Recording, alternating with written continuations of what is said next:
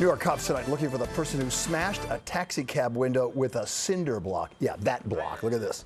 Just to steal a cell phone. This video taken last week in Midtown on West 37th Street. The taxi driver had parked his car on a restroom break.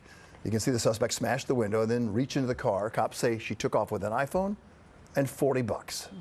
For the first time since that now infamous Oscar slap, we're hearing from Jada Pinkett Smith.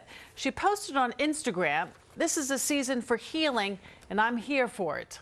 On Sunday night, her husband, Will Smith, slapped Chris Rock for joking about her shaved head. Her husband took offense since she suffers from hair loss due to an autoimmune disease called alopecia.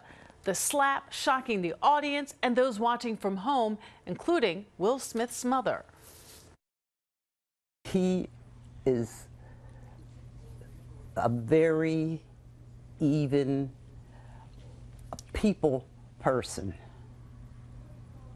And uh, that's the first time I've ever seen him go off. The first time in his lifetime. Smith finally apologized to Chris Rock for slapping him via Instagram, calling his behavior unacceptable and inexcusable. Chris Rock has yet to publicly address the incident.